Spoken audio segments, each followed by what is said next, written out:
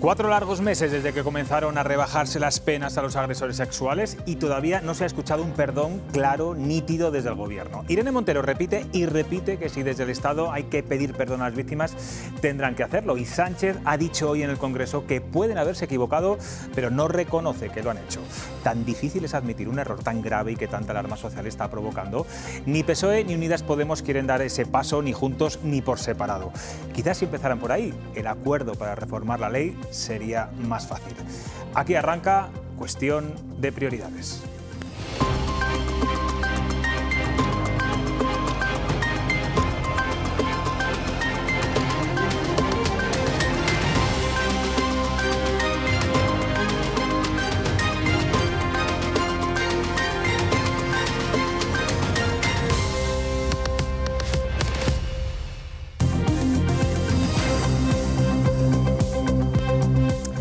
Están? Buenas noches. Castilla y León registra la tercera subida más importante del IPC en España con un 6,5%, seis décimas más que la media nacional.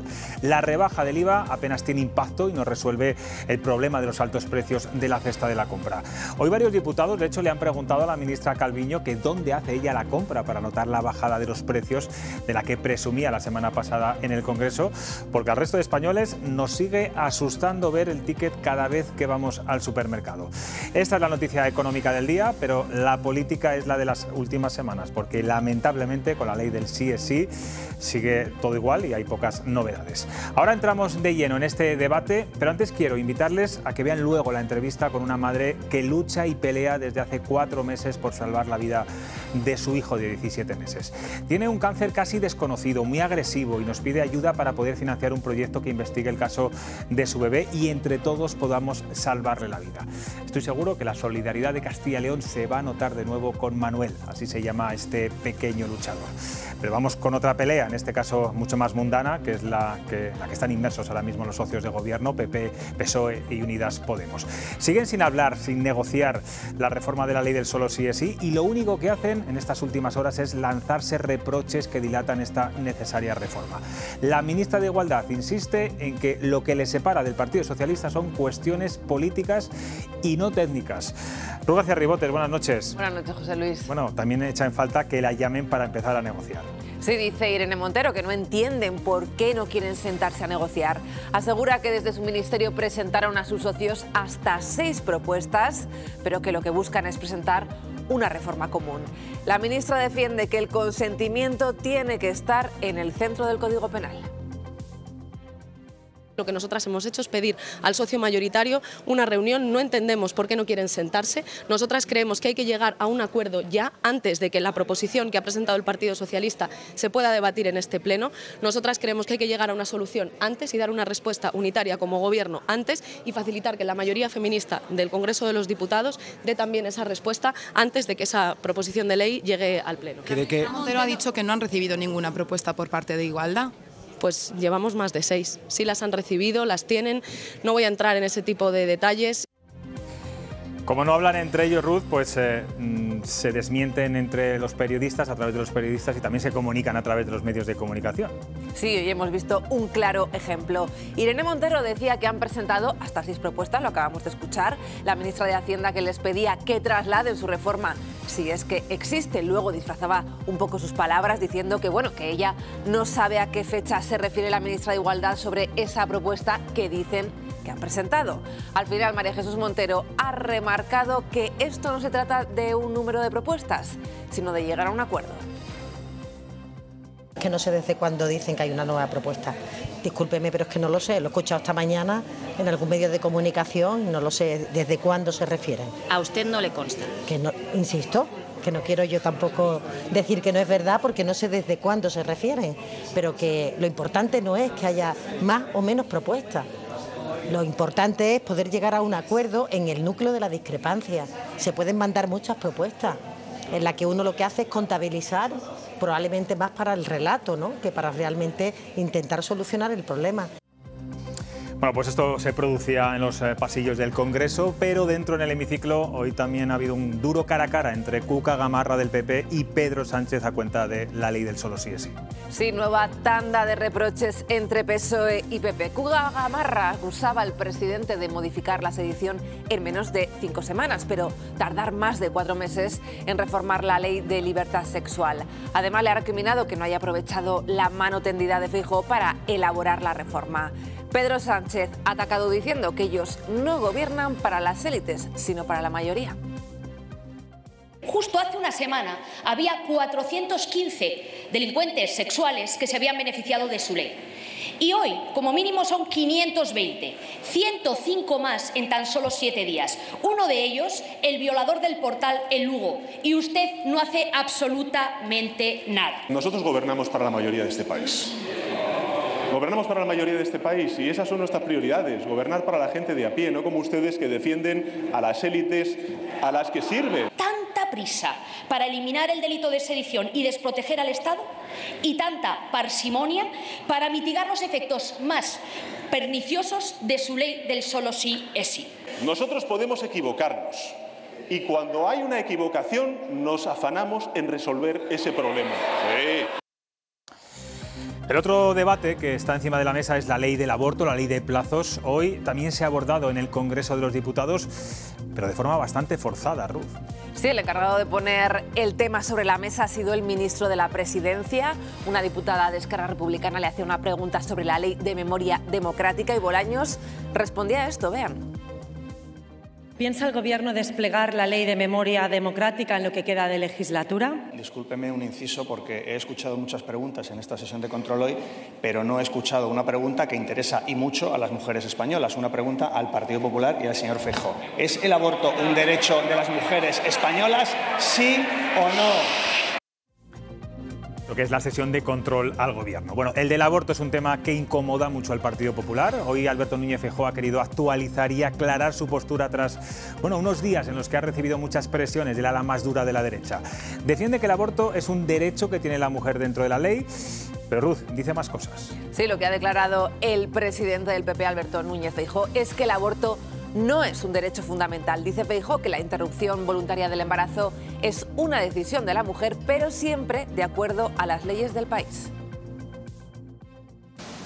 No considero que el aborto sea un derecho fundamental y no lo considero porque no está recogido así en la Convención de Derechos Humanos. Se puede solo adoptar de acuerdo con la legislación.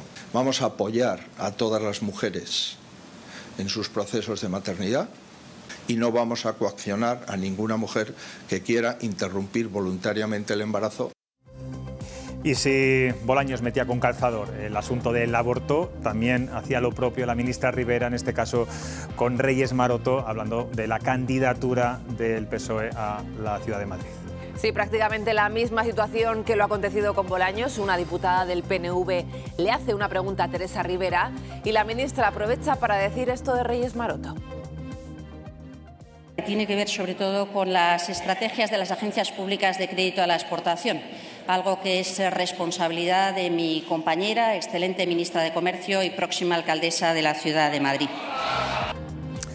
Bueno, pues como ven, los partidos eh, en el Congreso hacen lo que les dé la gana. Al final hacen lo que les dé la gana. Por cierto, tengo que dar una última hora, eh, me acaba de llegar ahora mismo. Eh, muere la actriz Raquel Welch, mito erótico de Hollywood a los 82 años guapísima y buenísima actriz. Eh, voy a presentar a los eh, tertulianos que me acompañan esta noche. Laura Ríos, buenas noches. Buenas noches. Guillermo Gravito, ¿qué tal? Muy bien, ¿y tú? Franca Velasco, ¿todo bien? Todo bien. Voy por ti, Franca. Eh, sé que el tema de la ley del solo sí es sí te cansa un poco, pero es lo que toca. Es que no hay más temas, de hecho, el debate político, bueno, el del aborto también, que luego lo abordaremos. ¿Crees que tú eres una mujer muy feminista. Llegar sin el acuerdo entre PSOE y Podemos al 7 de marzo, que es cuando se va a celebrar ese pleno, un día antes del Día eh, Internacional de la Mujer, que realmente bueno, es un día con mucho simbolismo para la izquierda. ¿Lo que está haciendo Podemos es tratar de forzar con el PSOE una división? Hombre, no creo que les interese eh, ni a Podemos ni al Partido Socialista, ¿no? Eh, lo que pasa es que yo esto ya no sé mm, cómo calificarlo, si un desaguisado, una pelea de gallos o es que eh, se acercan unas elecciones en las que hay que marcar territorio. ¿no? pero eh, hablábamos el otro día de la, de la extensión del chicle con el tema del protocolo, no protocolo inexistente y con, esto nos está pasando lo mismo. Yo creo que va a haber acuerdo, lo va a haber, lo tiene que haber. Y no entiendo, la verdad es que me cuesta entenderlo, supongo que a la, como a la mayor parte de la ciudadanía, este toma y daca de declaraciones, ¿no? Porque escuchas a Pilar Job la semana pasada. ¿A quién te cuesta más entender? ¿A Unidas Podemos o al Pues, Partido eh, a los Socialista? dos, sinceramente. Eh, te quiero decir que Pilar Job sale, que nos leamos el artículo 178, me parece que es. Eh, pero luego sale Irene Montero y dice que es que el, el consentimiento tiene que estar en el centro. Después Andrea Fernández, eh, del PSOE otra vez, dice que el consentimiento está en el centro y que el problema eh, parece ser que Podemos lo tiene mm, con otros artículos después.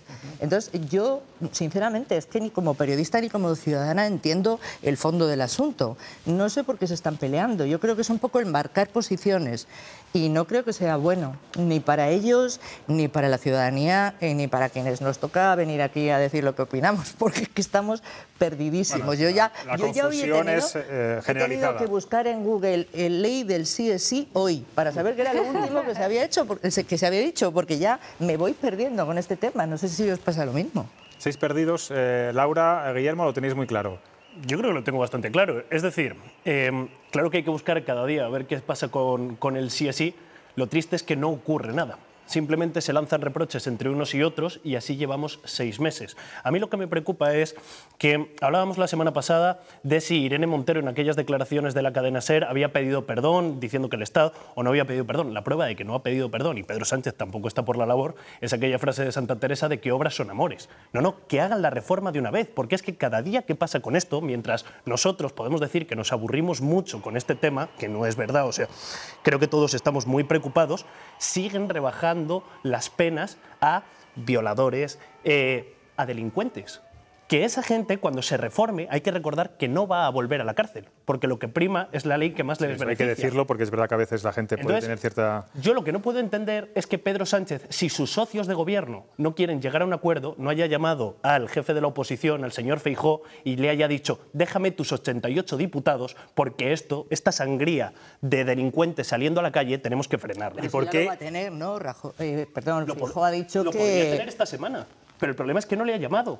Mientras Sí, pero dicen bueno, que no reciben pero es que, propuestas de eh, sus o sea, socios, ellos llamar, tampoco llamar hacen al ninguna PP propuesta. también tiene sus bemoles y de todas formas quería quería Tienen hombre, 88 pues diputados, porque hay, que aprobarlo por, por mayoría Sí, absoluta. pero de hay otra cosa en la que 176. tendrían que apoyar también en la que no lo hacen. Como tú bien sabes que también hemos hablado aquí de eso, Fernanda, pues de, que hay más urgente, del que hay más urgente General del Poder que, que no se siga. Eso, ¿Te parece más urgente el Consejo Estas General son del las Poder preguntas Judicial? de Guillermo. ¿Y no te interesa la Constitución, como el pero- otro día? Pues mi no me parece, es, ¿te parece ni más, más grave ni menos grave. te Te, quiero decir que el PP no es un buen compañero de viaje. ¿Pero te parece esta- más urgente este- reformar el Consejo. General del Poder Bien, Judicial que te que quería- dejen de salir violadores de la Te cárcel? quería hacer otra puntualización. Dices que salen violadores de la cárcel. No siempre, porque el otro día el TSJ, y Laura lo sabrá porque lo recibirá como yo, hizo un balance de audiencias provincia por provincia. Perdona, déjame 500, terminar. sí, sale- que se les han rebajado algunos, las pero penas otros y los no. que han salido 520. Bien, pero es Con que hubiera curioso. salido uno, esto es gravísimo. Que hay- es curioso porque hay audiencias en las que se revisan 29 sentencias y 5 dicen que no mm, se ¿Y de quién es la modifica. pues es una. Porque te quiero decir que es que también De los es jueces, como audiencias, decía Irene jueces, Montero, que eran unos machistas. Pero ¿por Ahora qué vamos a escurrir el bulto y vamos a en echarle la culpa a los de jueces. 29 a- en 25 casos se dice que no y en otras la razón, audiencias en no sé cuántas La se dice culpa que no sí. es del gobierno. Y este asunto no es preocupante. Es mucho más preocupante reformar que el revisar, TSJ. a- Habría que revisar cuál es la revisión que hace cada uno y el caso en particular de Yo cada creo que uno. todos los espectadores que nos están viendo desde su casa, empezando por las mujeres que nos están viendo, les no, mañana hacemos la encuesta sobre esto. Yo aquí no pinto preguntado nada, mucho, hemos ya lo sé, mucho. me lo imagino. No, pero yo creo que todos los espectadores que nos están viendo están mucho más preocupados por que sigan soltando a delincuentes a la calle y rebajándoles las penas y que tengan que cumplir mucho menos tiempo del que iban a cumplir en un principio, que si reforman mañana pasado o el mes que viene el Consejo Pues eso- General del eso Poder también Judicial. tiene sus consecuencias para Cla- la ciudadanía. Claro que lo tiene, pero no Claro. que te violen en un portal una noche volviendo de fiesta. No voy a discutirte eso. Menos mal, gracias, Franca. Laura, ¿tú cuál es la interpretación política que ves eh, en este desencuentro, que es más que un desencuentro, ya es un choque brutal y frontal entre Unidas Podemos y el Partido Socialista? Yo creo que eh, claramente hay intereses políticos y una mm, clara y manifiesta irresponsabilidad por parte de los socios de gobierno, eh, porque el Partido Socialista es irresponsable por omisión, porque tampoco está haciendo nada. cuatro meses en vacío y ahora tres semanas más con los brazos cruzados y sin poder hacer eh, nada absolutamente. Decías antes, Franca, que, el Partido Popular no es un buen compañero de viaje.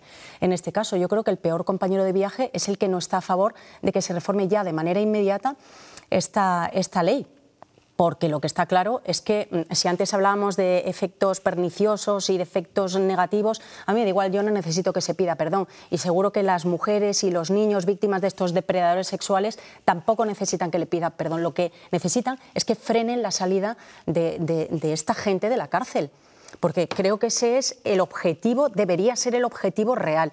Y yo lo que estoy viendo aquí y me pregunto, eh, sobre todo, qué piensan las mujeres víctimas cuando ven este debate, cuando ven sobre todo este cruce de declaraciones en, los pasillos del, Congreso de los Diputados, cuando ahí es donde debería haber llegado un acuerdo. Me da igual con su socio de gobierno, me da igual con el principal partido de la oposición, pero claro, al final no es solo un acuerdo con tu socio de gobierno, sino con los socios de tu socio de gobierno, porque al final eh, ahí hay una serie de intereses que está frenando todo eso, porque cuando el ¿Qué gobierno... te parece, por cierto, hablando de los socios de los socios de gobierno, te refieres a los socios de investidura, entiendo, claro, claro. que están siendo poco valientes, que no se están decantando ni por uno ni por otro, que simplemente apelan a la unidad del gobierno, de los socios de gobierno, a que se entiendan, a que el Ministerio de Igualdad también eh, entre dentro de esas negociaciones. Porque en, esta cuestión eh, yo creo que se está dejando que estos dos se maten, estos dos partidos, estas dos formaciones se maten en el barrizal y que sigan eh, con el lodozal y envolviéndose, porque al final es un desgaste.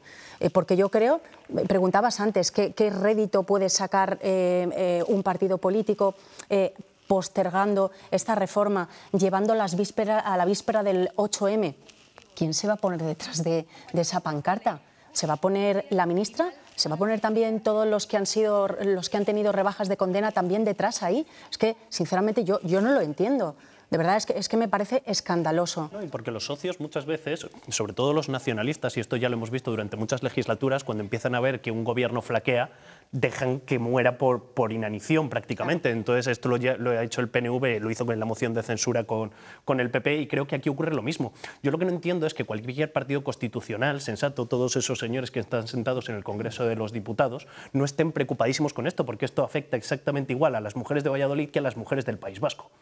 Entonces, a mí que de verdad no tengan esa urgencia, que estén jugando a tiempos políticos, a ver quién saca más bueno, El Partido Socialista sí la tiene. El Partido Socialista es el, la, ha tenido tarde, pero desde hace unas semanas quiere que, sea, una que se apruebe cuanto antes. Una cosa es que diga que quiere y otra que esté poniendo los medios para hacerlo, porque volvemos a lo mismo. Hasta donde yo sé, no ha llamado al señor Feijó para decir que lo aprueban con sus 88 diputados y no con los 33 de Podemos que no les quedan las cuentas. Fijó se ha ofrecido. Claro. teniendo el apoyo de otros partidos políticos, eh, llame a Feijóo. Pero lo tienen pero vamos a ver, o sea, que es, un equipo de, coalición, es una coalición. con todos? ¿Y por qué no con Podemos y con sus socios y con todos? Que estuviera más reformado. Esa es la necesidad que tenéis algunos de meter al PP en el tomate como salvador en esta historia, que es lo que se busca al final. Como, salvador. Hombre, claro, salvador como de la ciudadanía como única carta válida para poder resolver esto ya. Pero que no va a hacer falta. Que no va a hacer falta, pues llevamos seis meses, Franca. Es que seis meses estas horas que salen violadores. cuarto de la noche del 15 de febrero, de momento el único que apoya eh, o esa tramitación eh, vía urgencia es el Partido Popular y Vox. Pues ha habido uno, ha habido Veremos a ver qué ocurre a partir de ahora. Claro, claro. Bueno, eh, quería preguntaros también, ¿cómo estáis viendo eh, la postura del PP con el tema de, del, aborto y la ley de plazos? Parece que ha habido algún cambio, juego de palabras, sea la más derecha, algunos obispos presionando al Partido Popular. Laura. Bueno, yo creo que aquí lo que el Partido Popular tiene mm, en el centro del debate es abrir un debate interno y tratar de eh, esclarecer cuál es la posición eh, que quiere defender. Es el eterno debate interno. Que claro, nunca porque hay muchas sensibilidades dentro del Partido Popular y es principalmente lo que tiene que hacer. A mí me parece que después de la respuesta del Tribunal Constitucional sobre esa ley que recurrió el Partido Popular hace, hace años, eh, lo que debería haber situado al Partido Popular es una posición de, de defensa de la familia, defensa de la maternidad, de, fomentar y además ahí tiene, eh, bueno, pues tiene a Vox. Lo que pasa que, claro, estamos a, meses de las elecciones y ahora cualquier paso y cualquier acercamiento de unos a otros lo interpretan como, mm, bueno, pues como, eh, como una manera de, rascar votos. porque Vox tiene la bandera antiabortista y el PP está ahí entre Pito y Valdemoro y eso va que incomoda. Sí, pero lo que sí es cierto es que las palabras de Feijó han supuesto como una especie de ruptura con, mm. lo que, con lo que el Partido Popular venía defendiendo. Y la prueba está en que eh, antiguos dirigentes del Partido Popular y algunos dirigentes del Partido Popular actual eh, echan en falta ¿no? que, que, Feijó, en este caso, haya, haya bueno, pues defendido que, hace falta eh, una ley que contrarreste ¿no? los efectos de esta ley del aborto, promover al final lo que es la defensa de la vida. Franca, ¿cómo lo ves? Pues yo es que estaba escuchándote, Laura, y eh, lamento mm, que me falle la memoria y no recordar dónde, pero cuando tú hablas de diferentes sensibilidades en el Partido Popular, eh, leía una encuesta, pues el típico tuit, era un medio de comunicación, ¿eh? no era, yo qué sé, fulanito, no que hablaba de una encuesta interna entre los partidos, los dos partidos en la que decían que el 60%, y me sorprendía incluso, de los votantes de Vox estaban a favor de la ley del aborto, o sea, a favor del aborto como concepto. Y también te escuchaba decir eso de que hay que proteger la familia, hay que proteger la maternidad, la natalidad, yo creo que una cosa no es incompatible con la otra. Y lo que me parece es que Feijóo está en mitad de un fuego cruzado, mm, pero con los socios de aquí. Eh, yo creo que este hombre, le he visto hoy la comparecencia que me la ha tragado enterita, porque nos la han mandado también, y se le ve de un incómodo, porque es que es una situación que joder, tienes a Espinosa de los Monteros diciendo que, que abolición del aborto, que, que van a poner el, supuesto protocolo de Castilla y León en toda España. O sea, es que le está tocando la moral, por no decir otra cosa, pero de una manera Pero aquí el Partido Popular lo que tiene que hacer es no ponerse de perfil, ponerse de frente y decir claramente, pero primero aclararse, ¿qué, es lo que quiero defender? Porque tiene a todos, los, a, todos, a todos los grupos de la oposición los tiene presionando, tiene a Vox presionando. Eh, el Partido Popular se quedado mm, de la manera que se ha quedado. Eh, es así. Pero decías antes, eh, Franca, que una cosa no es incompatible con la otra. Pues yo creo que sí, porque eh, o se defiende la vida o se defiende el aborto. O sea, que creo que son términos que deberían estar bastante claros. Cuando la ley del aborto suprime el concepto de, información y de reflexión inicial, ese periodo inicial, que no es coacción, que es simplemente que una mujer embarazada disponga de todos los elementos eh, eh, posibles para tomar una decisión que creo que es importante, eh, ¿por qué se hace? ¿Por temor a qué? ¿Por temor a que no aborte? ¿Cómo que, Entonces, se evita la información? No te sí, cuando, cuando se abre un periodo... Eso se ha eliminado de la ley del aborto, el periodo de reflexión. Pero es que, ¿qué reflexión le hace falta a una mujer que se queda embarazada en contra de su... Tendrías que hablar con Red Madre y conocer la cantidad de casos que se ven presionadas precisamente para abortar. para abortar. y al contrario también, ¿no? Porque había gente allí en la puerta de las clínicas abortistas haciendo lo contrario. Bueno, eh, es decir, yo creo que te voy a decir una cosa, es dueña de su vida, ya no de su cuerpo siquiera, de su vida. Entonces, eh, en su vida, un ser humano que, en el momento en el que hay una ley de plazos y se determina que hasta este punto se puede hacer, a partir de aquí ya no, eh, entiendo que hay razones biológicas para eso. Eh, tú no puedes obligar a una mujer a ser madre. La maternidad es lo más bonito del mundo, tú y yo lo sabemos. Pero si no lo quieres, porque para ti, para ese bebé y para todo tu entorno va a ser un desastre. Pero estamos hablando, estamos hablando de información, no de obligar a nadie a ser claro, madre. pero es que no hace falta información. ¿Que no? ¿No? Ah, yo creo, no, no, cuando alguien no quiere ser madre ya le puedes contar lo que, que le quieras contar, la Biblia entera. clínicas sí debería informarse. ¿Cómo que tiene Pero es que un aborto, un aborto no es baladí, no es, no es, Hombre, un aborto es una intervención. No es baladí. Pero ¿quién lo sabe? ¿Quién lo sabe eso? A ver, pues voy a tener que contar mi vida. Pues, pues mucha gente que, no sea médico yo, he sufrido, no lo sabe. he sufrido dos involuntarios y es una experiencia tremenda. Pues imagínate tener que deci decidirlo pues y decidir quiero Pero es que abortar. lo decides tú. Es tu libertad. Claro, Nadie te tiene que dar clases magistrales. No, pero dentro de esa libertad hay una campaña, una campaña eh, para fomentar y para, y, eh, para favorecer el aborto, para dar facilidades. Es muy fácil abortar, incluso sin, sin- sin- un menor. No, es fácil, sin- pero si no tenemos hospitales públicos en Castilla y León que nos es lo fácil hagan. abortar. Si hay Eh, que irse a, a y Miranda además de no Ebro. hace falta, y en el caso de los menores no hace falta ni que se lo consulten a los padres. O sea, que eso es lo más grave, lo que más grave me, eh, lo que más grave me parece No, es que esta todo. ley legislativamente ha, ha supuesto una barbaridad. O sea, que los menores de edad puedan abortar sin consentimiento paterno. Ya estamos con los menores de edad. Es que también Pero están existe, incluidos en esa ley. lo Trans, contempla- esta ley es- contempla la ley. Franca. No, pero lo contempla la ley. Pero, es eh, una auténtica pero barbaridad. O sea, personas que no tienen derecho a votar sí pueden decidir. Pues mira, eso es algo a plantearse también. Ah, entonces lo bajamos. ¿Y a qué edad? Porque ahora ya hemos decidido. A los 16. Ya hemos decidido cuándo empieza, con la mente empieza mucha la vida mejor colocada que los científicamente. Y es mayores, cuando- no, pero pregunto.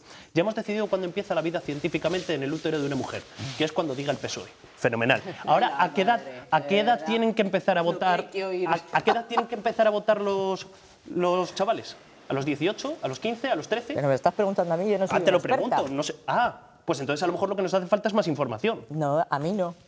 ¿A ti no? A mí Pues como para no ser madre una no. experta no has sabido A mí como madre no, porque me he quedado embarazada cinco veces. Bien, ¿y entonces a qué edad lo ponemos? Pues, eh, pero eh, te digo, a mí, que yo no Ah, soy una bueno, experta, pero- te estoy hablando de mí. Bueno, Pues entonces a los 18 me se encanta fijan. escucharos, Lo ¿eh? vamos a enrocar. Me he De todas un formas, los que tenemos, los que tenemos hijas, los que tenemos hija, a los que tenemos hijas, nos gustaría que a nuestras hijas no solo, no solo se les indicara eh, cuáles son las ventajas del aborto, cuáles son las facilidades del ¿Pero aborto. quién hace eso? También, bueno, pues esta ley lo hace. Pero porque la da ley, todas las la- la facilidades. ley obliga a las niñas a estar informadas de lo que es un aborto y sus ventajas, pero ¿qué me no, estás no, da contando? facilidades, da facilidades. Pero dices, da pero facilidades. dices- Y poca Laura, acabas de- favorece, acabas de favorece el decir aborto, sí. Y poca información. ¿Por qué es bueno Y- abortar? Acabas de decir eso. Claro, le da todas las facilidades. No, no, no. Le da todas las Lo facilidades. que le da no es la oportunidad de decidir.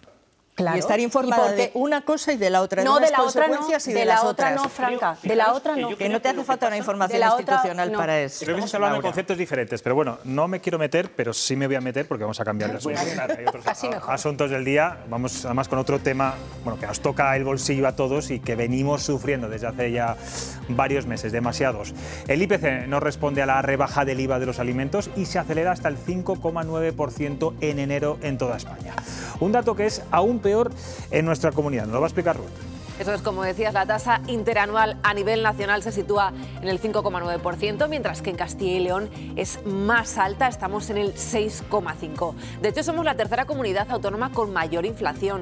La primera es Castilla-La Mancha y le sigue Extremadura. Con respecto al mes anterior, el IPC baja medio punto en la comunidad, mientras que en España la caída es todavía menor, de tan solo dos décimas. Tan solo una hora después de que estos datos salieran a la luz y ante la mínima bajada de los precios, el ministro de Agricultura convocaba a los representantes de la distribución, industria agroalimentaria, pesca y agricultura a una reunión. Va a ser el próximo lunes. Pues vamos a seguir hablando de nuestra comunidad porque el nombre de Castilla y León ha vuelto otra vez a reverberar en el hemiciclo del Congreso de los Diputados por un tema económico, eco- económico-político. ¿Por qué ha sido esta vez? Pues la diputada de Vox, Inés Cañizares, sacaba pecho de los datos del paro en nuestra comunidad y le decía a la ministra de Trabajo que Vox es la esperanza, que es el ejemplo. El ejemplo lo tenemos en Castilla y León. La réplica de la ministra de Trabajo no se ha hecho esperar, ha acusado a los de Abascal de querer abaratar el despido y de dinamitar el diálogo social con la supresión del SERLA. Solo con Vox hay esperanza, como se ha demostrado en Castilla y León, donde suben las contrataciones Silencio, y baja por el favor. paro hasta el 8,8%. que ahora los conocemos en Castilla y León. El despropósito. Son ustedes los que desbaratan el diálogo social. Han suprimido el SERLA, porque las primeras víctimas son esas personas que hoy están trabajando en el SERLA, que gracias a ustedes van a irse a la calle y sin indemnización. Bueno, hemos hablado de la ley del sí es sí, hemos hablado del aborto, hemos hablado del IPC, nos queda el debate de la sanidad. Hoy Inés Arrimadas ha hecho una propuesta, ha pedido al Gobierno una medida mm, para solucionar el deterioro sanitario bastante extemporánea. La presidenta de Ciudadanos ha propuesto la recentralización de la sanidad. Eso sí, ha matizado que no quiere decir que las comunidades autónomas no tengan competencias. Arrimadas ha puesto sobre la mesa la lista de espera a la que se enfrentan los ciudadanos cuando piden cita médica. Cita para el pediatra en un centro de salud, el Espronceda, para dentro de 16 días. Una vergüenza. Pero ¿sabe qué pasa? Cataluña, cita para atención primaria dentro de 14 días. En Toledo, Castilla-La Mancha, 130 días de media para una consulta con el ginecólogo.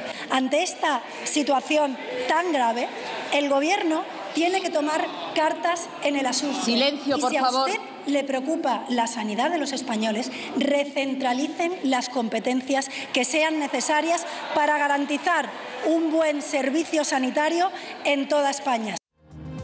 Por su parte, Alberto Núñez Feijóo critica el despiadado ataque del PSOE y del Gobierno a las comunidades del PP, a su gestión sanitaria y sobre todo a una, a eh, Madrid, con Isabel Díaz Ayuso a la cabeza. Sí, ha reprobado Feijó la actitud de Pedro Sánchez, dice el presidente del PP, que no ayuda, sino que solo busca rédito electoral. Reconoce Feijó que la sanidad tiene un problema estructural y que politizar este asunto es una falta de respeto. El Gobierno de España, en vez de ayudar a los presidentes, a las comunidades autónomas, a incrementar el número de médicos, a crear especialidades para ordenar la atención primaria y la atención especializada, esté boicoteando las soluciones para intentar sacar una tajada política contra una comunidad concreta, contra una presidenta concreta, me parece lamentable. Bueno, pues terminamos con la cuestión del día. Ayer nos sorprendía bastante, incluso a los tertulianos de esta mesa, las valoraciones que hacía Yolanda Díaz, al valorar eh, la subida del salario mínimo y las repercusiones que van a tener, sobre todo para los jóvenes. De eso va hoy la pregunta en Twitter. Sí, nos vamos ya a Twitter a conocer la pregunta. ¿Cree que la subida del salario mínimo va a mejorar la salud mental de los jóvenes, como dice Yolanda Díaz? La respuesta eh, ha estado muy igualada. Al final ha ganado el no. Es la opción elegida por el 56%. ¿Qué hubieras votado? Me abstengo, me abstengo. Hasta ahora, Ruth. Vamos a ver qué hubieran votado nuestros tertulianos. Eh, decía Yolanda Díaz que con esta subida eh, son 80 euros, más o menos 1.080 euros el salario mínimo eh, interprofesional, lo cual es una buenísima noticia para muchas familias y para muchos jóvenes. Decía que van a ganar en esperanza de vida.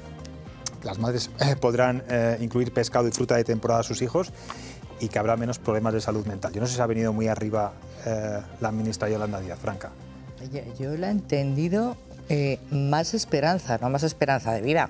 No, más esperanza de vida. Se refería a esperanza de Yo creo, vida. yo creo sí que es verdad que yo más creo. esperanza No, no, no, y hay menos esperanza de vida, problemas, problemática y una menor No sé si lo podemos problemática recuperar, decir a mis compañeros, a ver si lo podemos recuperar, dice más esperanza de vida. Puede ser que ya mm, se, se le ha haya explicado se le- mal, pero bueno, da igual. Supongo que se le. Problemas de salud mental. Bueno, hombre, para, to- para todo el mundo es un desahogo. Vamos, no te quiero decir que 80 euros te, te- te curen la depresión o la ansiedad. Está claro que no. Pero bueno, son declaraciones que se hacen pues en determinados momentos, yo qué sé, que con la cantidad de veces que habla esta gente, y te lo digo por todos, ¿eh? en, en algún momento meten la pata. No es que nadie se, se cure de sus males con 80 euros, ni con 1080, ni con nada.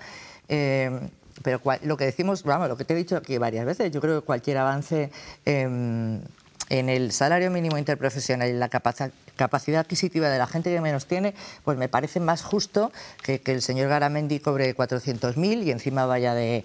mm, chuleando, no sé, es que no sé cómo llamarlo a lo que ha dicho y de las violaciones.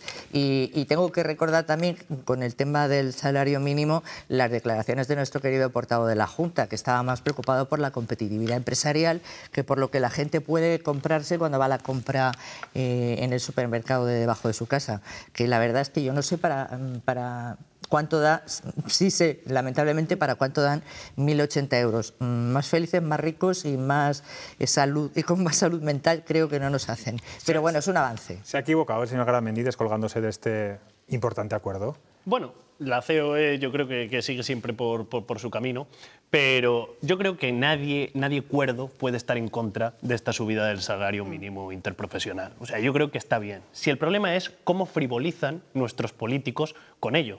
Hablar de que esto mejora la salud mental de los jóvenes, a mí me parece una auténtica frivolidad, lo cual te demuestra que Yolanda Díaz no tiene ni idea de qué ocurre en la calle. Lo Tengo, mismo- tengo- tengo lo las mismo- declaraciones Ah, para que no pues- me deje Franca como mentiroso. A ver. Vamos a escucharla. Pero, insisto, puede ser una mala explicación por su parte, pero dijo lo que dijo. Vamos a verla. Es una variable que permite cambiar la vida de la gente, tanto que bueno, pues permite que una madre trabajadora pueda eh, facilitar que su hijo o su hija coma pescado o fruta de temporada o permite que un joven o una joven de nuestro país eh, tenga un poquito más de esperanza eh, de vida o mm, tenga un poquito menos de problemáticas de salud mental. Esto es frivolizar. Ha hecho ahí un impasse entre esperanza y de Claro, y. Se me ha ido. Se me ha ido. Bueno, vamos a Pero es que, pero es que, Sí. es que de verdad, Es realmente me- no es frivolidad, es, es humor. O sea, esto es humor, esto es para Bueno, tomárselo yo lo ayer, los políticos de verdad. ahora las emociones. de- con con este tipo de Sí, sí, anuncios pero, quieren llegarnos pero tú al no puedes jugar con, determin- Claro. con qué determinados conceptos en, e- en este caso. Eh, me río, digo, por, por no llorar en este caso, pero cuando dice esto, yo realmente lo que creo que sí le ayudaría a la salud mental de los jóvenes es encontrar un trabajo y recibir el salario mínimo interprofesional, pero que se cree el trabajo. Y para eso las empresas tienen un papel fundamental. Y por eso los empresarios deberían también eh, plegar velas en algún momento y también sumarse en, es- en este caso. Porque sí que es verdad, como decían, eh, aquí, eh, la patronal de empresarios de, de que sí que hay que mirar también dónde están ubicadas las empresas, si es en un territorio más disperso, si, un- si es un, depende del tamaño de las empresas también, el sector, las, las circunstancias que envuelven a cada empresa.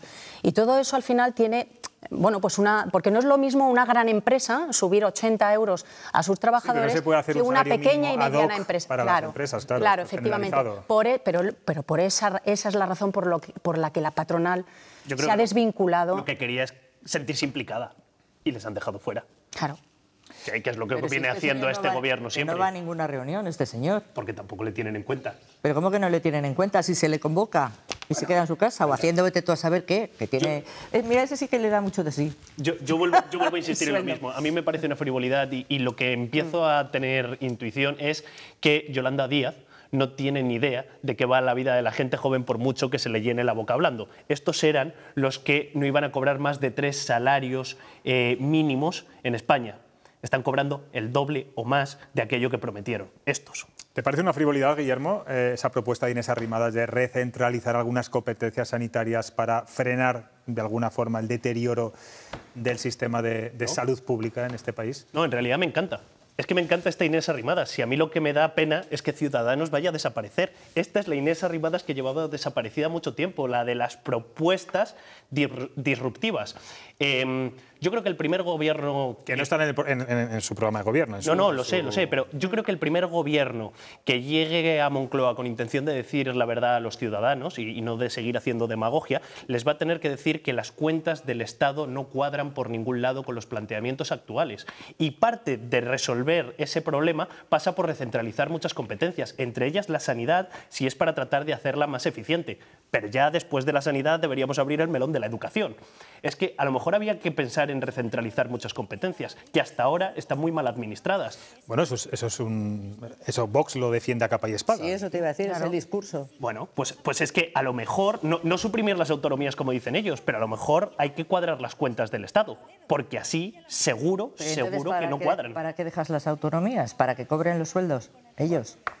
Creo que Porque si no tienen competencias. So- ¿Solo tienen sanidad y educación las autonomías? Entonces tú quieres quitarle la sanidad y la educación porque eso lo decides tú, como Yo me toda- decías a mí antes. Yo todavía no he dicho que sean sanidad y educación, he dicho que habrá, Porque, que, a ver, habrá que ministro- estudiar los números, Franca. El ministro Escribá también re- propuso una vez lo de, lo de eliminar esa, o renacionalizar o como se llame o recentralizar eh, la política fiscal. Cuando, cuando les dio la moda a todos de bajar los impuestos aquí, luego yo más y luego yo Bueno, más. con ¿no? el dumping fiscal de Madrid, sí. Quiero decir que, oye, si tú dices que la sanidad y la educación, Ah, que no, lo ha dicho Guillermo. No, perdona, yo no he dicho que haya que hacerlo. He dicho que hay que coger los números, que es de lo único que nos podemos fiar Hombre, ya en este te país. acabas de si posicionar cuadran o no absolutamente a favor He dicho que si no cuadran de habrá Vox. que recentralizarlas. Yo, perdona, no de Vox, de mi opinión. De las competencias. Ahora, si quiere comprarme la Vox, me parece estupendo. Bueno, aquí son opiniones, cada uno eh, opina lo que quiere. Laura.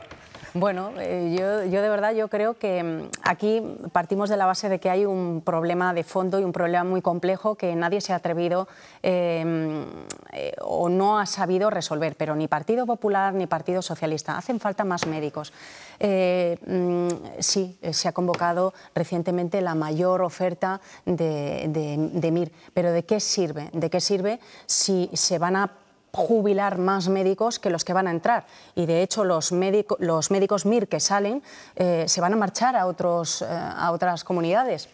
Si no se retiene, si no se fideliza, si no hay eh, retribuciones adecuadas, si están saturados, por ejemplo, en el caso de la atención primaria, no hay incentivos, los médicos no quieren hacer la especialidad de médico de familia porque precisamente tienen muchas tarjetas sanitarias, porque tienen una saturación y unas condiciones que no, que no están dispuestos a asumir. Entonces, yo creo que habrá que ver sobre todo eh, hacer números, como bien decías, reorganizar la sanidad, porque no es lo mismo prestar eh, la gestión sanitaria en una comunidad como Castilla y León, eh, y eso también el Gobierno tiene que tenerlo en cuenta. La transferencia de los, fondos de los fondos que se destinan a sanidad no son los mismos para Castilla y León que para otra comunidad que tiene. A eso quería yo ir. Es que a mí me parece que el reparto, al no ser equitativo, tiene problemas muy gordos. Es decir, ¿por qué Cataluña, por ejemplo, llevándose mucha más parte del presupuesto nacional que otras comunidades autónomas, tiene peores datos en las listas de espera? Eso es lo que se puede corregir recentralizando esto. Pues mira, hablabais de... Es bastante injusto. Pero que, siga en manos de las autonomías entonces. Pero con más dinero del Estado, que es lo que acabamos siempre. Recentralizar no significa que, siga en manos de las autonomías, Franca. Pero al final Recentralizar significa que todo dependa de un mismo organismo, en este caso de pues eso te estoy diciendo. Ah, vale. Pues en eh, manos de las autonomías. Muy sintomático, un titular que os voy a leer ahora mismo, que publica el diario ABC. Eh, han entrevistado a la número uno del MIR en 2023, es eh, Patricia Andrés, una chica de 25 años, y dice, he elegido dermatología para ser feliz y no quemarme. Lo cual significa mucho de cómo está la situación de los Demuestra por qué es la número uno en España. Bueno, es lista. Este es el problema que tienen los MIRES que nadie les asegura una plaza, que las horas, las jornadas son larguísimas. Es que es muy difícil ser médico en España. Pues es la mejor. Eh, nos vamos a ir a publicidad. Eh, no se pierdan a la vuelta. Una entrevista que vamos a tener con eh, la madre de un niño de 17 meses que tiene un cáncer muy complicado, un cáncer mm, bastante agresivo y que nos va a pedir ayuda a todos. Vamos a escucharla y vamos a ser un poco solidarios con ella. Enseguida volvemos.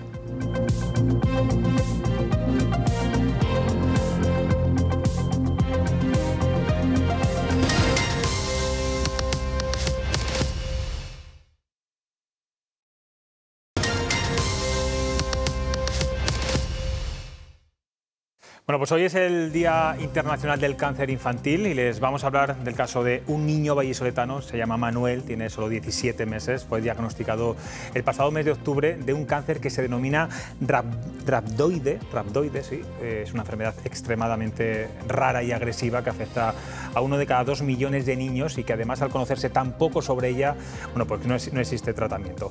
Desde ese día la vida del pequeño y de sus padres cambió por completo, viven en un hospital y luchan sobre todo por intentar recaudar fondos para investigar el caso concreto de su hijo. La Fundación CRIS contra el cáncer, con una unidad de terapias avanzadas en el Hospital de la Paz en Madrid, donde está ingresado Manuel, se encarga de impulsar la investigación que requiere de 150.000 euros para tres años. Afortunadamente, la campaña está bueno, pues teniendo mucha repercusión mediática y personalidades como la periodista Susana Griso, la actriz Lara de Bildos, el cantante Pitingo, la influencer María Pombo la están divulgando en sus redes para darle más repercusión. Vamos a hablar ahora con Sara Fernández, la madre de Manuel, a la que agradezco además enormemente que nos haga un hueco a estas horas de la noche. Me imagino que estará cansada. Buenas noches, Hola. Sara. Hola, ¿qué tal, José Luis? Gracias por, por, tenerme con vosotros. Bueno, lo primero, ¿cómo está Manuel y cómo está respondiendo al tratamiento de quimioterapia que en estos momentos le están dando? Bueno, pues Manuel va respondiendo bien, gracias a Dios está respondiendo bien. Nos queda mucho camino todavía, es un cáncer muy complicado, muy agresivo, como bien has dicho, y todavía nos queda mucho, pero es verdad que cuando empezamos esto estuvo muy, muy, muy malito y no pensábamos que llegaría mucho y en cambio, pues bueno, ha conseguido quitar la metástasis de los pulmones y ahora es operable. Así que hemos dado un paso muy grande. Un paso grandísimo. Eh, usted, eh, bueno, te, voy a tutear si no te importa, Sara. Tutear, por favor, sí, sí, sí. Has dicho, eh, que en un principio lo acabas de decir, no os dieron mucha esperanza, pero está claro que nunca os habéis rendido. Cuéntanos, ¿por qué es tan importante llegar a esa cifra de 150.000 euros para el tratamiento contra ese cáncer de Manuel? Porque creo que este tumor tiene tan poca incidencia que no hay ni siquiera material para investigar. Eso nos dijeron, sí, que hay muy poquitos niños, por desgracia, como es tan agresivo, fallece muy pronto. Y bueno, pues hay muy poco material sobre este, sobre este tumor. Entonces, eh, ahí también fue donde, sabiendo que está la unidad CRIS de terapias avanzadas allí y en La Paz, pues donde empezamos a mover esto y a decir, bueno, tengo un niño invadido de cáncer, por desgracia, de rhabdoide. tenemos material suficiente para poder investigar esto. Y hay más niños, además, en La Paz, no solo está Manuel. Con lo cual decidimos eh, empezar a, recaudar fondos para este proyecto y para intentar ayudar a, Manuel y a otros niños que también tienen este, este cáncer. Claro, porque esto no es eh, solamente eh, se va a beneficiar a su hijo, sino todos los niños que tengan ese tipo de cáncer. Yo no sé si esperaban, esperabais tanta solidaridad y cuéntanos cuánto dinero lleváis recaudado ya. Llevamos, creo que más de 71.000 euros ahora mismo. Y, esto empezó todo el jueves por la tarde, no llega en una semana. Eh, ha sido una repercusión enorme, lo cual agradezco enormemente a todo, todo el mundo que os habéis volcado ¿no? en ayudarnos en esto. Y, bueno, estamos muy contentos, la verdad. Pero bueno, todavía nos queda, nos queda. Eh, y hoy yo sé que es el Día del Internacional de la Lucha del Cáncer Infantil y lo que no quiero es que se quede solo en, esto. Quiero que siga, claro, no, mañana ya nadie se acuerde y, nos quedemos en esa cifra, ¿no? anclados. Por eso pido mucho llamamiento también de empresas que nos puedan echar una mano a, que hagan donaciones a esta causa. Tenemos durante toda la entrevista, lo están viendo, un código QR. Eh, si ustedes eh, eh, lo pinchan, pondrá a ver un enlace donde pueden hacer esa donación, que bueno, cualquier cantidad, desde luego que bienvenida será. Luego también pasaremos un rótulo. Cada euro suma. Perdón. Cada euro suma. Eso es. Eh, mientras llega el dinero necesario para investigar eh, este caso, a Manuel le siguen tratando, lo ha dicho antes, y si no me equivoco, Sara, le van a operar en breve y lo siguiente sería un, trasplante de hígado. No sé si me estoy equivocando. Sí, así es. Él le descubrió el, cáncer que tiene, le tiene en el hígado, el hígado le tiene invadido, eh, ya nos dijeron que ese hígado se tenía que trasplantar sí o sí. Luego, cuando hicieron el TAC, ya vieron que tenía además metástasis, tanto en los pulmones como en el abdomen. Bueno, pues gracias a Dios con la quimioterapia los pulmones no se ve nada en los tags, ya están limpios y el resto pues de momento es operable. Eh, quieren operarle este viernes, eh, pero está flojillo, no sé si podremos. Mañana nos dirán los médicos. Pero bueno, si todo va bien, este viernes le operarían de la parte de metástasis. Seguirán luego dándole quimio durante un par de ciclos más y después de, de esos dos ciclos ya es cuando quieren hacer el trasplante de hígado. Ahí ya sí. Vosotros eh, habéis tomado una decisión, desde mi punto de vista, muy acertada, y es que no estáis recaudando directamente los fondos que, recibís, sino que os habéis apoyado en una institución seria y profesional como es la Fundación CRIS contra el Cáncer. ¿Qué ha supuesto para ustedes esta organización? Pues todo, porque nos están ayudando a, salvar a Manuel. O sea que es, así, eh, la investigación salva vidas y ellos han apostado por ello, por la investigación están en La Paz, además, tienen allí la unidad de terapias avanzadas de, cáncer infantil y ha sido una oportunidad, la verdad, que nos han brindado muy grande. Eh, ellos y el doctor Antonio Pérez Martínez, cuando también él, que es el que dirige la, eh, esta unidad, pues nos dijo que sería muy interesante hacer un proyecto de investigación sobre este cáncer que está tan poquito investigado. Sí, es curioso que fue el propio facultativo el que, el que les animó. Como decíamos antes, hoy es el Día Internacional del Cáncer Infantil. En Castilla y León se, detectan 52 casos al año y casi la mitad de, bueno, de niños entre 0 y 11 años. Usted está viviendo casos de niños con cáncer en el Hospital de, de La Paz en Madrid, donde, bueno, como decíamos, casi vive. El cáncer de Manuel es fundamentalmente infantil, afecta sobre todo a niños menores de 3 años. Eh, lo hablaba antes, ha conocido otros casos eh, similares también que tienen este tipo de cáncer. No sé si han podido hablar con las familias? ¿Qué, pulsa? ¿Qué, hablan entre ustedes? Sí, hay mucha relación. Allí en el hospital tenemos mucha relación en general con, los papás, ¿no? Al final estamos todos allí con los niños, salimos a dar un pasito por los pasillos, los niños juegan entre ellos. Y, bueno, claro que a lo que hablamos. Eh, los que tenemos, no conozco a todos los que tienen un radio en la paz, sé que hay casos, no sé, no sé todos, pero bueno, sí que he tenido contacto sobre todo con otro par de papás y bueno, pues cómo estamos, pues todos muy preocupados, ¿no? Y además, por desgracia, una, de, una niñita se nos fue eh, de este cáncer y, y, bueno, es muy triste porque claro, es, llevas lo tuyo más lo de los demás, ¿no? Es imposible que no afecte eso. Da muchísima pena, se sufre mucho. Sara, me consta que, para vosotros está siendo muy importante cómo se está comportando vuestro otro hijo, de tan solo tres años. Imagino que es vital para Manuel no perder el contacto con su hermano, ¿no? No, no puede estar sin él. Eh, es que cada vez que le ve aparecer por el hospital se le ilumina la cara. Cambia. O sea, a lo mejor está medio tirado en la cuna, que no le apetece nada, y es que según entra por la puerta ya se pone de pie, ya tiene ganas de bailar y de, y de jugar con él sí, le da la vida. ¿Y cómo están compatibilizando, pudiendo compatibilizar eh, tanto su marido como usted el trabajo con el cuidado de su hijo? A ver, en el trabajo eh, yo tengo una reducción de jornada de hasta el 99% remunerada. Eh, es una medida que hay hasta la que el niño tenga los 23 años. yo soy funcionaria, entonces, bueno, yo lo tengo por el sector público, pero también lo hay en el sector privado. Eh, ya no sé en qué convenios, pero sé que también existe. Eh, ya nos lo advirtieron allí que hay una chica que se carga de pues un poco del tema social y nos comenta y nos lo dijo que sí que, que había esta opción. Entonces me solo puede cogerse uno de los cónyuges, me acogí yo a ello, ¿no? Y mi marido pues sí que sí que está trabajando, pero bueno, eh, nos ayuda, le ayuda mucho también en el trabajo, porque oye, estamos mucho en hospital, se pone malito tal, y bueno, nos han ayudado mucho también. Nos han dejado un poco de, esto es cuestión de, humanidad también. Eh, imagino que de toda esta experiencia habéis aprendido también lo importante que es la investigación en este país y el camino largo que aún nos queda, sobre todo en lo referente a, enfermedades raras, ¿no?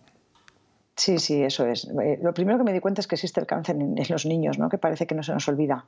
Eh, lo, asociamos a los adultos ¿no? Y, no, hay muchos niñitos que también sufren cáncer, 1.400 casos al año en España.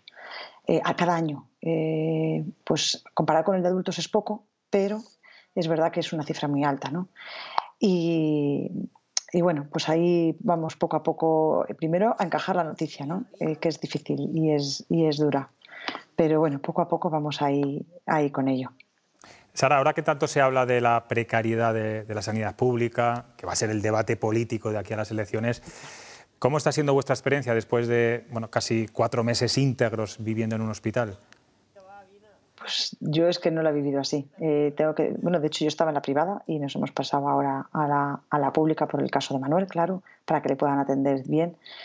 Y hemos tenido un trato maravilloso, maravilloso en la pública, maravilloso, la verdad. Eh, todo, todo el facultativo, desde, desde médicos auxiliares, enfermeros, eh, hasta los de la limpieza. O sea, todos, todos, todos, es maravilloso. Cada vez que vamos a urgencias, lo mismo, nos tratan súper bien. O sea, de verdad no, no he tenido esa, esa sensación, nosotros no la hemos tenido. Sara, tengo aquí a tres eh, tertulianos que me acompañan en, esta mesa, que también eh, bueno, van a hacer alguna, alguna pregunta eh, fácil, seguro. Franca. Hola, Sara. Buenas noches. Eh, primero quiero mandarte, no te conozco de, nada, es la primera vez que te escucho hablar, sí que había eh, visto alguna entrevista tuya en papel, en los medios, pero no te había mm, escuchado como te estoy escuchando ahora. Y me habían dicho que eras una persona estupenda y lo estoy comprobando. Lo primero quiero eh, eso, mandarte un abrazo virtual y decirte que admiro muchísimo tu serenidad, porque tiene que ser eh, de las peores cosas que te pueden pasar en la vida, lo que estás pasando tú. Y me alegro muchísimo, por supuesto, supongo como mis compañeros y todo el mundo, de la espectacular eh, respuesta social. Eh, quería preguntarte si tenéis pensado, aparte de esta campaña abierta para donaciones, que entiendo que son a nivel particular, si tenéis pensado acudir a alguna institución, algún organismo diferente ya a otro nivel. Pues me imagino que sí, no nos ha dado tiempo a, hablarlo, ¿no? Yo esto lo quiero hablar con la Fundación CRIS, que son los que me están ayudando, y, seguramente que sí que acudamos, ¿no? Pero es verdad que es que lo hemos lanzado el jueves, ha sido tan prontito cuando lo hemos lanzado, no llega una semana. Entonces, no esperábamos esta repercusión, la verdad, y todavía no nos ha dado tiempo a hablar, pero sí, intentaremos tocar todas las puertas, todo lo que sea posible para intentar llegar a esta cantidad y si hay que seguir sumando cantidad, pues encantados porque todo irá para este proyecto y para que no dure tres años, sino que dure muchos más. Eh, estoy leyendo una nota de prensa que me mandaban hoy tus compañeras de, CRIS contra el cáncer, que decían que alertaba de que España está muy por debajo de la media europea en la supervivencia del cáncer infantil, precisamente por la falta de, investigación, de ayudas. ¿Qué le pedirías a los eh, gobiernos en general? pues que hay que invertir en investigación. Es que es, que es vital para, para, investigación de todo tipo de enfermedades. ¿no? Al final, no solamente el cáncer, hay muchos tipos de enfermedades crónicas que existen y que necesitan ayuda.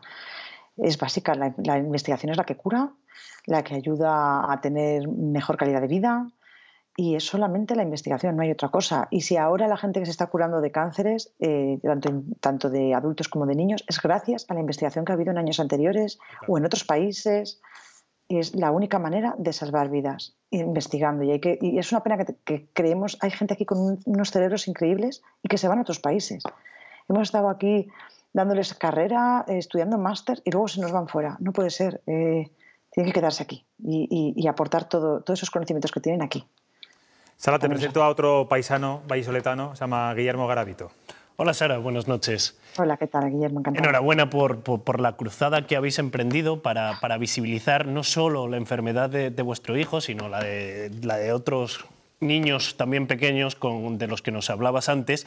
Yo quería preguntarte, es verdad que está el, el QR justo ahí debajo de, de, tu imagen en televisión, pero para la gente que nos esté viendo desde sus casas, que no sepa cómo se abre o ¿A través de, de dónde pueden donar a, a, vuestra causa? Tenemos ahora mismo una dirección de correo también. La estoy, eh, la estoy viendo ahora mismo. Vale. Sí, es la plataforma de ganar al cáncer. Sí. Eh, ahí eh, metiendo esa plataforma también lo mismo. aparece, aparece lo de Manuel. Para meterse es muy fácil.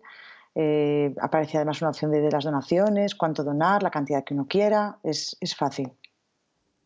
¿Os ha sorprendido, Perdón, ¿os ha sorprendido? Es verdad que, estamos muy acostumbrados también en, los medios de comunicación a estar hablando constantemente de, lo negativo, pero cuando de repente en unos pocos días, como nos contabas tú, eh, habéis conseguido recaudar para, vuestra iniciativa eh, más de 70.000 euros, como, como va hasta ahora, eh, yo creo que cuanto menos tiene que sorprender y tiene que alegrar, que, que todavía surja esa generosidad espontánea.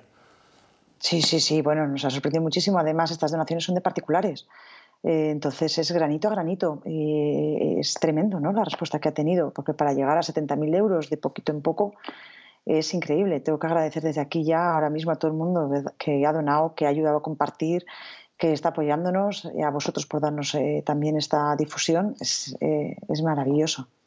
Es maravilloso. Cuanto antes se consiga el dinero, antes empezamos el proyecto. Y no es por sacar pecho, pero yo creo que los medios de comunicación, tan criticados muchas veces por muchas cosas, eh, en este asunto y en otros muchos, eh, somos vitales y somos fundamentales precisamente para darle esa proyección de la cual, si no eh, fueran como entrevistas como esta o otras muchas que han hecho en otras televisiones y en otros medios impresos y de radio, no hubiera sido posible llegar a esos 74.000 euros. Eso, bueno, yo creo que también hay que dejarlo claro. Laura Ríos. clarísimo, sí, sí.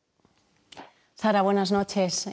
Hola, Laura. Es admirable mm, tu fortaleza, la que nos transmites con, tus palabras. Y bueno, decía antes José Luis que es verdad que somos altavoz, pero es verdad que sin tu voz y con esa serenidad con la que eh, estás trasladando el caso de Manuel, eh, no, no, podríais haber conseguido todo lo que habéis conseguido en tan poco tiempo. A mí me gustaría saber eh, y que nos pudieras explicar en qué va a consistir eh, si te han trasladado en qué va a consistir en términos eh, coloquiales la investigación eh, sobre la enfermedad que afecta a Manuel y sobre todo en qué medida podrían mejorar su calidad de vida. Pues ahí me pierdo, la verdad. No sé, no tengo el dossier de, de, cómo va a ser la investigación. Eso lo sabe mejor el doctor Antonio Pérez Martínez, que sé que tiene la idea del proyecto, de cómo hacerla con el investigador, hablarlo y todo. Pero es verdad que yo ahí no tengo la, esa, esa, información, no os, la puedo dar exactamente eh, qué es lo que se va a hacer. Ahí sí que lo siento que no, no lo sé. Eh, tiene que ser con él, con lo que tendréis que ponernos en contacto y que él os diga, o con la Fundación CRIS, a lo mejor la Fundación CRIS sí que tiene más datos técnicos sobre esto. ¿Os han comentado en cualquier caso si esa investigación eh, va a mejorar en ciertos aspectos la, calidad de vida de, eh, Manuel? ¿En, qué medida podría beneficiarle? A ver, yo no sé si en calidad de vida. Yo lo que quiero es salvarlo. Yo lo que quiero es que eh, mi hijo se salve y que todos los niños que tengan un rabdoide, por lo menos, vamos, el 99% se salven. Eh, mejorar la calidad de vida, pues siempre una investigación puede mejorar la calidad de vida, ¿no? Algo, si no se investiga no se encuentra nada y entonces así sí que es imposible. Y entonces yo creo que sí. Y además puede encontrar algo hasta para otro tipo de cáncer, nunca se sabe, ¿no? Eh, los hallazgos a veces son sorprendentes y, uno encuentra algo en, esta, en esto que puede ayudar también para otros cánceres. Entonces, bueno, yo creo que sí que va a ser siempre, siempre será útil, siempre va a ser útil. Sara, hablaban tanto Franca como Laura de esa serenidad, de esa fortaleza que está transmitiendo en esta entrevista. ¿A qué se agarra usted para, o tú, perdona, para mantener esa mm, forma de actuar y esa forma incluso de hablar tan serena? Pues bueno, tengo mis días, ¿eh? mejor dicho, mis momentos. Esto es una montaña rusa de emociones. Eh, hoy estás arriba diciendo puedo con todo y de repente el, pensamiento negativo entra, entra, entra y no hay manera de frenarlo y, tenemos estos días también y, les tendremos. O sea, eso está claro. Pero tenemos que agarrarnos a que es que tenemos que sacar adelante a, los dos niños que tenemos. Eso es en lo que nos tenemos que quedar. ¿Está usted recibiendo ayuda psicológica de, de algún modo para encajar todo esto? En la planta allí de, de, del hospital hay una, eh, sí, hay una psicóloga de, para este tema de oncología eh, pediátrica y, y, nos ayuda, que nos ve, nos pregunta qué tal, habla con nosotros y, y siempre nos está intentando echar un cable. ¿no? o sea que sí, también sí. sí. Bueno, habéis abierto una cuenta de, de, Instagram en la que decís, eh, solo queremos que nuestro hijo se salve, que aprenda a hablar, que puede ir al colegio, jugar con su hermano, que crezca y haga amigos, que viaje, que ría, que llore, en definitiva, que viva. Bueno, Sara, sois un ejemplo de verdad como, como padres. Estoy seguro que entre todos lo vamos a conseguir.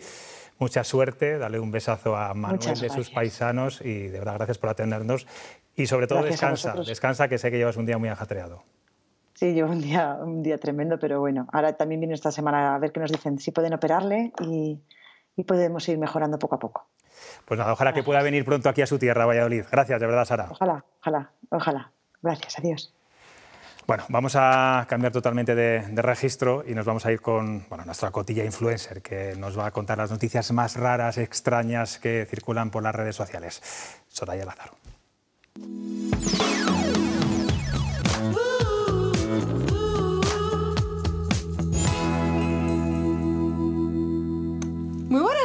Luis. La noticia más viral de todas de estos últimos días ha sido la gala de los Goya. La gala fue emotiva en la que se recordó a Carlos Saura, que recibió el Goya de Honor 2023 y falleció unos días antes de este evento. Asbestas triunfó en la noche, que de 17 nominaciones se llevó 9 Goyas. ¡Ole! La siguiente noticia viral sí que es de película de ficción. Un hombre prende fuego a un banco después de ser víctima de una estafa telefónica que le hizo perder más de 12.000 euros. Los timadores se hicieron pasar por representantes del banco diciéndole que sus cuentas habían sido bloqueadas por actividad sospechosa. Le dijeron que había estafadores intentándole robar el dinero y que lo mejor era hacer una transferencia completa de todo su dinero a una cuenta muchísimo más segura. Y además le convencieron de crear un cóctel molotov, le explicaron cómo hacerlo y le dijeron lánzalo al banco para acabar con todas las estafas. ¿En qué momento una persona hace esto? Flipo. Pero vamos que flipo también con la siguiente noticia viral. Triunfa la original técnica de un artista que rompe paneles de cristal para crear eh, caras de celebridades. Pero miren este vídeo, primero se pone a dibujar la carita y luego empieza a romper poco a poco. Y la última noticia viral es una conversación nieta-abuela. La nieta le pregunta sobre si sabe hacer esos bolsos de tela. A lo que la abuela le responde esto. Eso va hecho a ganchillo, yo a ganchillo no sé. Así que la nieta le dice, abuela, no pasa nada, tú tranquila. Y al día siguiente recibe esta foto. ¿Puede ser más tierna? Yo tengo la suerte de tener la mejor abuela del mundo, la tengo yo, fastidiáis. Ah, habías así, aunque mi madre es un poco abuela en esto eh, también. Le digo que me quiero comprar un abrigo blanco y no hay revista que te muestre un catálogo más grande de abrigo blanco de todas las tiendas, de todas las marcas, de todos los lados, para que tú elijas el abrigo blanco que a ti te gusta. Pides una cosita y la tienes replicada por mí. Y hasta aquí el cotilleo de hoy. Hoy Pistachina ha ido al veterinario porque no es normal la cantidad de pelo que suelta, que luego es una muda normal y corriente. Pero hay bolas de pelo por toda la casa pasando como bolas del desierto. Nosotros nos quedamos por aquí bichando por las redes sociales y la semanita que viene se lo contamos todo aquí. Pues ahora ya no hace falta ir al veterinario, yo creo que con cepillarle es suficiente. No sé, no sé mucho de, conejos ni de, ni de, conejas. Pero bueno. Eh, Soraya, sigue ahí quieta en la tele, porque la noticia atascada de esta noche de Calixto Albricias te afecta mucho, tanto a ti como a Pistacho. Vean.